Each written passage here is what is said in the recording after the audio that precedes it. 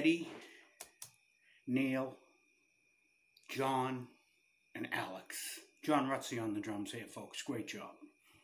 Rest in peace, Neil. Love you, Rush.